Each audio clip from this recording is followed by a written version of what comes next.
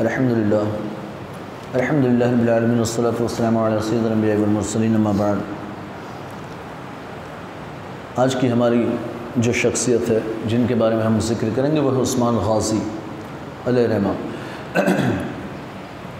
उर्तुरुल गाज़ी के बेटे उस्मान गाज़ी की विलादत, उनकी पैदाइश ईस्वी सन बारह में हुई। और उर्तुरुल गाज़ी एक बहुत ही बहादुर, दिलेर, जरूरतमंद और इस्लामी हुकूमत और इस्लामी सल्तनत के लिए और दीन की खातिर अल्लाह की राह में हमेशा जंग करते रहे, हमेशा अल्लाह तबारक ताली के दीन को आम करने और इंसाफ कायम करने की कोशिश करते रहे। आपका एक ख्वाब था इस्लामी सल्तनत कायम करना, इस्लामी हुकूमत कायम करना।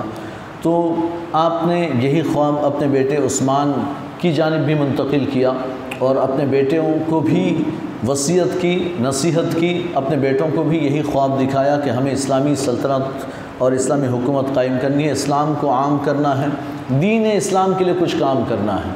ये उर्तुल गाज़ी की वसीयत थी अपने बेटों को। उर्तुल गाज़ी ने अपने, यानी कि बेटे उस्मान गाज़ी को हर एतबार से बहुत ही मज़बूत और कामिल और मुकम्मल बनाना चाहा।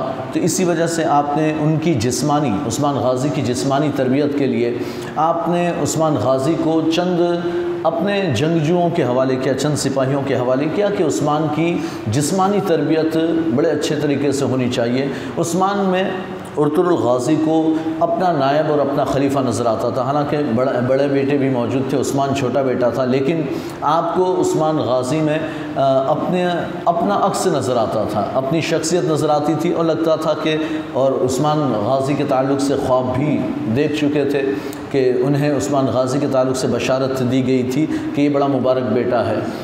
तो हज़रत गाज़ी ने अपने ख्वाब को मुकम्मल करने के लिए उस्मान गाज़ी का इंतखब किया। तो उनकी जिस्मानी तरबियत के लिए आपने उस्मान गाज़ी को अपने चंद जंगजू सिपाहियों के हवाले किया कि इनकी जिस्मानी तरबियत की जाए, इन्हें यानी कि तलवारबाजी, घोड़सवारी और ये सारी चीज़ें सिखाई जाए। तो उन्होंने जो है अपने बेटे उस्मान गाज़ी को तुरगु तलब और अब्दुलरहमान गाज़ी, इसी तरह से आबशाह दुरवेश और कौनूर अल्प जैसे अजीम जंगजों के हवाले किया कि इनकी तालीम और तरबियत और ट्रेनिंग की जाए। और रूहानी तौर पर यह तो जिसमानी तौर पर था, रूहानी तौर पर आपने उर्तुल गाज़ी ने उस्मान गाज़ी को आदाब अली के हवाले किया कि वो रूहानी तौर पर उनकी तरबियत करे। तो उस्मान गाज़ी ने जिसमानी एतबार से भी तरबियत हासिल की और रूहानी अतबार से भी अदब अली के पास रहकर आपने तालीम और तरबियत हासिल की। और उर्तुल गाज़ी ने अपने बेटे उस्मान गाज़ी को जो वसीयत फरमाई थी, अपनी मौत से पहले आपने अपने बेटे को जो समझाया और जो बताया, जो सिखाया, वो यानी कि उस्मान गाज़ी ने अपने बेटे को ये यानी कि बताया था बज़ाहिर तो उस्मान गाज़ी के लिए वसीयत थी, लेकिन आपकी वसीयत आपकी नस्लों में जारी रही। पूरी नस्लों में, यानी कि सलातिन उस्मानिया में, हर एक के ज़िम्मे ये वसीयत बाकायदा सुनाई जाती थी। उन्हें बताई जाती कि हमारे बाप, हमारे दादा उर्तुल गाज़ी ने, है ना, अपने बेटे उस्मान को ये वसीयत की थी। यही वसीयत तुम्हें भी है। यही जो भी बादशाह बनता, उसे वो वसीयत बताई जाती। और साथ ही साथ उस्मान गाज़ी चूँकि एक अहम किरदार थे सल्तनत उस्मानिया के तो जो भी बादशाह बना तो उसकी कमर में उस्मान गाज़ी की तलवार लटकाई जाती थी। उर्तुल गाज़ी ने अपने बेटे को जो, यानी कि वसीयत की थी, वो ये, आपने कहा देखें बेटा, यानी कि उस्मान बेटा, जो अपने माजी से वाकिफ़ ना हो, अपने पास्ट से जो वाकिफ़ ना हो, जो अपना पास्ट ना जानता हो, वो अपना फ्यूचर कभी संवार नहीं सकता, वो अपना मुस्तबिल कभी संवार नहीं सकता। तो तुम्हें अपने बाप दादाओं की तारीख़ जाननी चाहिए। तुम्हें इस्लाम की तारीख़ जाननी चाहिए। तुम्हें पता होना चाहिए कि हमारे असलाफ़ ने, हमारे बुज़ुर्गों ने क्या कारनामे अंजाम दिए हैं। ताकि अगर तुम तारीख़ जानोगे, तब जाकर तुम मुतमिन होकर इतमान के साथ आगे कदम बढ़ा सकते हो। तुम्हें आगे अपनी लाइफ में क्या करना है, वो तुम्हें पता चल सकता है। और हमेशा ये याद रखना कि तुम कहाँ से आए थे और तुम्हें कहाँ जाना है, तुम्हारी मंजिल क्या है, ये हमेशा याद रखना। उन्होंने, यानी कि अपने बेटे को वसीयत की थी कि बेटा तुम मेरा दिल दुखा लेना। मुझे तकलीफ़ दे देना। कभी मेरी नाफरमानी कर लेना। कभी मेरी बात को टाल देना। कभी यानी कि मेरी नाफरमानी कर लोगे चल जाएगा। मेरा दिल दुखाओगे चलेगा।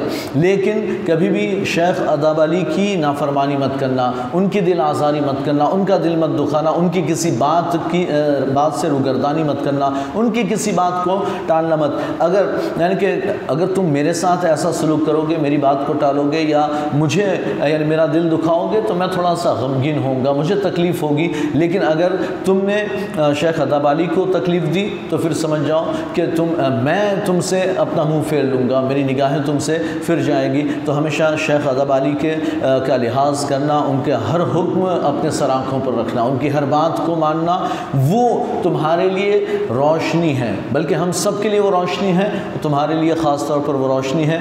इसी रोशनी में तुम्हें अपनी मंजिल तक पहुँचना है। उसी रोशनी में तुम्हें अपना रास्ता तय करना है।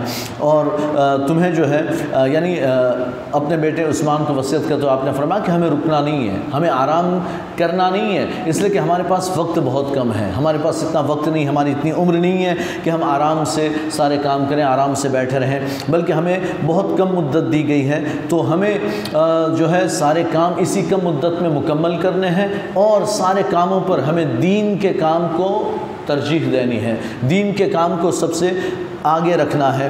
दीन के कामों पर तवज्जो करना है इसलिए कि फ़राइज़ का अहतमाम करना, फ़राइज़ को अंजाम देना, ये दीन और सल्तनत के, को मज़बूत करने का ज़रिया है। जब तक तुम दीन पर अमल नहीं करोगे, न तुम्हारा यानी कि जब तक तुम दीन पर अमल नहीं करोगे फ़राइज़ पर अमल नहीं करोगे, न तुम्हारा दीन मुकम्मल हो सकता है, न तुम्हारी सल्तनत कायम हो सकती है, न मज़बूत और मुकम्मल हो सकती है।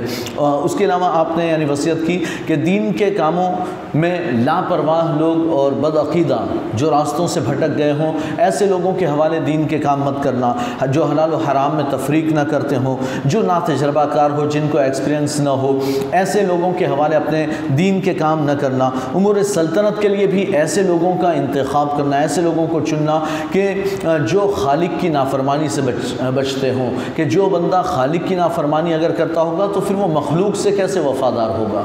ये ने अपने बेटे उस्मान को वसीयत की थी। आपने यानी क्या कि यानी अपने बेटे को समझाते हुए, वसीयत करते हुए फरमाया कि मुहिमात जो है वो ज़्यादा अरसे तक रुकनी नहीं चाहिए। ये नहीं कि सालों साल गुजर जाएँ, हम आराम से बैठे रहें। नहीं, कोई ना कोई मुहिम जारी रहनी चाहिए। किसी न किसी से यानी कि जंग हो कि कोई ना कोई यानी कि काम होता रहना चाहिए। मुहिमात रुकनी नहीं चाहिए। इसलिए कि अगर मुहिमात रुक जाती है तो सिपाहियों की बहादुरी, शुजात और उनके जो उनके जो कायदीन हैं, उनकी फ़हम फरासत, उनकी ज़कावत, उनकी जहानत जो है वो कमज़ोर पड़ जाती है।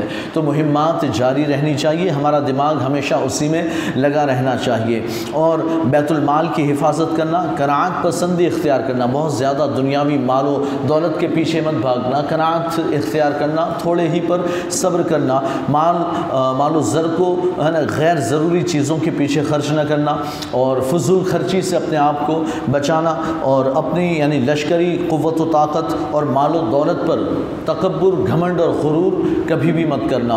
इसलिए कि वो अल्लाह की राह में लोगों की ज़रूरत अवामनास की ज़रूरत पूरी करने के लिए और वह ज़मीन पर अदल इंसाफ फैलाने के लिए एक ज़रिया है। माल दौलत भी और लश्कर भी। ये अल्लाह तबारक ताली का दीन फैलाने के लिए, अदल इंसाफ कायम करने के लिए और अवामनास की ज़रूरतों को पूरा करने का एक ज़रिया है तो उस पर कभी भी तकबर न करना। तुम रियाया, जो यानी कि हमारी रियाया है, प्रजा है उनमें से किसी के माल पर भी जुल्म न करना, ना उन पर जुल्म करना। नेकी और सखावत का हाथ हमेशा बढ़ाना, लोगों की मदद करना, फ़ौज पर तवज्जो देना सूफिया अलिया कराम दुर्वेश और जो कारीगर हैं सनातकार हैं और अहल कलम मुसनफ़िन किताबें लिखने वाले, ऐसे लोगों को, ऐसे लोग जो हैं, ये सल्तनत की क़वत ताकत होते हैं तो उनकी हिफाजत करना, उनकी खिदमत करना, उनका ख्याल रखना और यानी कि किसी भी यानी किसी भी शख्स के लिए साहिब कमाल होने का सुनो। अगर सुनो कि वो बंदा बड़ा साहिब कमाल है, उसके अंदर कुछ खूबियाँ पाई जाती हैं तो उससे क़ुरबत हासिल करना, उससे फैज़ हासिल करने की कोशिश करना, उससे फ़ायदा हासिल करने की कोशिश करना और अपने बाद आने वालों को भी जो नसीहतें मैंने तुम्हें की हैं, वही नसीहत और वसीयत तुम अपने बाद आने वालों को भी करते रहना। हमेशा अदल इंसाफ कायम करना, जुल्म का ख़ात्मा करना और हर मुश्किल में अल्लाह तबारक ताली पर यकीन कामिल रखना। लोगों को दुश्मन और ालिमों के शर से महफूज रखना। किसी भी शख्स को नाहक सज़ा मत देना। लोगों को इनाम और इकराम से नवाजते रहना और सब लोगों की रजामंदी, खुशनुदी और मोहब्बत हासिल करना। ये हत हतरतुलगाजी ने जो है अपने बेटे उस्मान को वसीयत और नसीहत फरमाई थी। और तो अपने वालिद की वसीयत और नसीहत पर अमल करते हुए उस्मान गाजी ने अपनी पूरी ज़िंदगी बहुत शानदार तरीके से गुजारी। बड़ी खनात पसंदी के साथ, बड़ी सादगी के साथ हत उस्मान गाजी ने अपनी पूरी ज़िंदगी गुजारी है। और कभी भी आपने घमंड तकबर नहीं किया, कभी, यानी कि मालो दौलत को जमा ही नहीं किया, कभी मालो दौलत जमा नहीं किया, जो भी हासिल होता था, आपकी आदत ये थी कि फ़करा मसाकिन दुर्वेशों को देने के बाद जो कुछ भी माल बचता, वो सारा का सारा सिपाहियों में तकसीम कर दिया जाता था। अपने लिए कभी आपने माल दौलत को जमा नहीं किया। उस्मान यानी कि उस्मान गाजी के वालिद उर्तुल गाजी जो हैं, उनकी वफ़ात के बाद, जब उनकी वफ़ात हो गई, है ना, बारह सौ अठासी में जब उनकी वफ़ात हो गई तो उसके बाद सराज के रूम, ये जो अलाउद्दीन कैकुबाद की हुकूमत थी और उसके बाद उनके बेटे, यानी कि हाकिम बने तो सराज के रूम जो है, उनका दारकूमत कौनिया था। उस कौनिया पर जो है सराज के रूम की हुकूमत ख़त्म होने लगी। मंगोलों ने हमला करके कौनिया पर कब्ज़ा कर लिया। जब मंगोलों ने कौनिया पर कब्ज़ा किया और सल्जुकी सल्तनत का ख़ात्मा हो गया, वो ख़त्म हो गई। तो उसके बाद उस्मान का जो इलाका था, उसमें उस्मान गाजी जो है, वो बिल्कुल आज़ाद हो गए, वो तनहा हाकिम हो गए। अब उन पर पहले तो सराज के रूम, यानी कि सल्जुकी बादशाह की, यानी कि हुकूमत होती थी, उसके हुक्म के मातहत चलते थे, लेकिन फिर वो ख़ुद मुख्तार हो गए, ख़ुद आज़ाद हो गए। अब ख़ुद की हुकूमत उन्होंने कायम की और इस तरह से उन्होंने सल्तनत उस्मानिया की बुनियाद रखी, सराज के रूम के ख़त्म होने के बाद उन्होंने अपने इलाके में सल्तनत उस्मानिया की बुनियाद रखी। उस्मान गाजी की जो सरहद थी वो यानी कि आपकी के इलाके की, आपकी जागीर की जो सरहद थी, वो कुस्तुनतुनिया की बाजिनतनी सरहद से मिली हुई थी। बाजिनतनी इलाके से मिली हुई थी। ये यानी कि बाजिनतनी हुकूमत वही है। बाजिनतनी उन्हें कहा जाता है जो अल्लाह के रसूल के ज़माने में और पुराने ज़माने में हतुमर वगैरह के ज़माने में जिन्हें यानी कि रूमी कहा जाता था। कैसर वगैरह यानी आजकल भी उसे हिरकल या हरक्यूलस कहा जाता है है ना? आजकल वो हरक्यूलस के नाम से मशहूर है। तो हरक्यूलस जो रोम का बादशाह हुआ करता था तो कैसर रोम तो रोम के जो लोग होते थे ईसाई, उन्हें, यानी कि उस ज़माने में बाजिनतनी कहा जाता था। तो बाजिनतनी हुकूमत से उस्मान गाजी की सरहद जो है वो मिली हुई थी। आपके ज़माने में आपकी बहुत सी जंगें बाजिनतनियों के साथ हुई है। बाजिनतनियों से आपने बहुत से मुकाबले किए और आपके इर्द गिर्द बहुत से ऐसे किले थे कि जिसमें बाजिनतनी टैकफूर यानी कि किलेदार मौजूद थे, जो किले, यानी कि जिनकी बाजिनतनियों की हुकूमत थी। आपने बहुत से किलों पर यानी कि उनसे जंगें भी की, उनके किलों पर कब्ज़ा भी किया। तो उस्मान गाजी ने यानी कि आखिरकार बुरसा नाम का शहर था। बुरसा शहर जो है, वो कब्ज़ा किया। बड़ा अहम शहर था, बहुत बड़ा शहर था। सोहूद तो आपका, यानी शहर था ही, उस पर तो आपका कब्ज़ा ही था, वो तो आपका मरकज़ था। लेकिन फिर सोहूद के बाद आपने बुरसा, बहुत से शहर, यानी आपने फ़तह किया उसमें आखिरी शहर बुरसा, जो बहुत अजीम शान शहर था, बड़ा अहम शहर था, उस पर कब्ज़ा किया और जब उस पर कब्ज़ा किया, वो फ़तह कर लिया तो उसके बाद फिर आपकी वफ़ात हो गई। उस्मान गाजी ने आखिरी शहर बुरसा को फ़तह किया। कुस्तुन दुनिया तक उस्मान गाजी नहीं पहुँच सके, लेकिन उस्मान गाजी ने भी जो ख्वाब देखा था, वो ख्वाब जो है, आपके बाद आने वाली नस्लों ने उसे पूरा किया। आपने, यानी कि यानी उस्मान गाजी जो है, वो हमेशा अपने वालिद की वसीयत पर अमल करते रहे और आपने हमेशा, यानी कि मेहमान नवाजी की, मेहमानों का ख्याल रखा, फ़करा मसाकिन का ख्याल रखा, पूरी ज़िंदगी बड़ी अक्लमंदी के साथ हुकूमत की है, बड़ी बहादुरी के साथ हुकूमत की और बाजिनतिनियों के साथ, यानी कि बड़ी बहादुरी से मुकाबले किए। आपने कभी भी उनसे खौफ नहीं खाया, कभी भी आप उनसे डरे नहीं। आज भी यानी हम हमेशा से और आज तक उस्मान गाजी का नाम बड़ी इज़्ज़त के साथ लिया जाता है, बड़े इज़्ज़त व एहतराम के साथ लिया जाता है और हमेशा ये उनके यानी 600 साल हुकूमत रही उस्मानियों की तुर्की में। तो बल्कि खिलाफत उस्मानिया कायम थी, पूरे आलम इस्लाम पर 600 साल तक तुर्कियों की हुकूमत रही खिलाफत उस्मानिया। तो ये खिलाफत उस्मानिया 600 साल तक कायम रही। तो इस अरसे में जब भी जो भी बादशाह बना, उसे वसीयत सुनाकर वो उस्मान गाजी की तलवार उसकी कमर से लटकाई जाती थी। चूँकि सल्तनत स्मानिया के पहले बानी जो हैं और बुनियाद रखने वाले, वो उस्मान गाजी थे। आपने, उस्मान गाजी ने एक ख्वाब देखा था। वो ख्वाब ये था कि आपके, यानी कि सीने से एक ज़बरदस्त दरख्त निकला, एक ज़बरदस्त नूरानी दरख्त निकला, और वो दरख्त निकल कर जो है वो फैलता चला गया, फैलता चला गया। वो, यानी कि दरख्त की शाखें जो हैं वो सारे समंदरों और खुशकी ज़मीन और समंदरों पर फैल गई। यहाँ तक कि दरख्त की जड़ से दुनिया के चार बड़े बड़े दरिया बह रहे थे, और वो चार बड़े बड़े यानी चार बड़े बड़े दरिया बह रहे थे, और चार बड़े बड़े पहाड़ जिन्होंने उस दरख्त की शाखों को संभाल रखा था। और उसके बाद यानी कि तेज़ हवा चली। ये ख्वाब की बात है, उन्होंने ख्वाब देखा था। तेज़ हवा चली और उस दरख्त के पत्तों का रुख जो है वो एक अजीम शान शहर की तरफ़ हो गया। और ये शहर एक ऐसी जगह वाक़ था जहाँ दो समंदर मिलते हैं और दो बर आज़म मिलते थे। तो फिर ये दो यानी मिलकर दो समंदर और दो बर आज़म मिलकर एक अंगूठी की तरह बनता और फिर उस्मान गाजी उस अंगूठी को पहनने जाने की कोशिश करते, लेकिन आपकी आँख खुल जाती। तो उस उस्मान गाजी के ज़माने, यानी कि बाद में उस्मान गाजी ने जो एक ख्वाब देखा था, लोगों ने इस ख्वाब को बड़ा अच्छा मुबारक समझा, बाबरकत समझा और बाद के लोगों ने इस ख्वाब की ताबीर ये बयान की कि ये जो चार दरिया थे, वो दरियाए दजला, दरियाए फ़ुरात, दरियाए नील और दरियाए डैंदू डैन्यूब ये। यानी कि चार दरिया थे और चार पहाड़ जो थे, वो कोहे तूर, कोहे बलकान, कोहे काफ और कोहे उतलुस, ये चार पहाड़ थे। और ये यानी कि बाद में उस्मा उस गाजी उस्मान की जो औलादें थी, उन्होंने अपनी इस हुकूमत को इन पूरे इलाकों में फैलाया। जो उस्मान गाजी ने ख्वाब देखा था तो बर आज़म, यानी कि चारों दरियाओं और चार यानी कि बड़े बड़े बर आज़मों पर उस्मानी खिलाफत कायम हुई।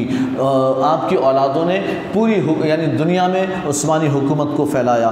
तो ये ख्वाब हकीकत में सल्तनत उस्मानिया की वसात के मुतक एक पेशिन गोई थी, जो उस्मान गाजी को ख्वाब में दिखा दी गई थी। और जो शहर दिखाया गया अजीम शान शहर की तरफ़ दरख्त के पत्ते जो है हवा से उड़ कर गए, वो अजीम शान शहर कुस्तुनतनिया था। जो उस्मान गाजी के ज़माने में तो फ़तह नहीं हुआ, लेकिन बाद में मोहम्मद फ़ातह ने उसे फ़तह किया। तो मोहम्मद फ़ातह ने दुनिया को फ़तह किया, बड़ी अजीम शान वो फ़तह थी। इन हम उस उनका तस्करा आइंदा कल में करेंगे। तो आपके बाद भी यानी कि बड़े बड़े ऐसे ऐसे बादशाह गुजरे हैं जिनका बड़ा नाम हुआ, जिन्होंने बड़े अजम शान कारनामे अंजाम दिए हैं। आखिरी बादशाह जो है वो अब्दुल हमीद सानी थे। उन्होंने भी बड़ी हिम्मत से यानी कि हुकूमत की है। आखिरी ज़माने तक अंग्रेज़ों से उन्होंने मुकाबला किया और हरमैन शरीफैन की भी बड़ी इज़्ज़त तज़ीम की हरमैन शरीफैन की जो तामीरत हैं, वो भी यानी कि बड़ी शानदार की थी। बाद में यहूदियों के साथ मिलकर अंग्रेज़ों के साथ मिलकर इब्न अब्दुल वहाब नजदी ने और आल सऊद ने, इन दोनों ने अंग्रेज़ों के साथ मिलकर तुर्कियों की हुकूमत का ख़ात्मा किया और इस तरह से सल्तनत उस्मानिया का जवाल हुआ। बहरहाल आगे आइंदा इन हम मोहम्मद फ़ातह का ज़िक्र इन आइंदा कल में करेंगे इन अल्लाम वरहमल वर्क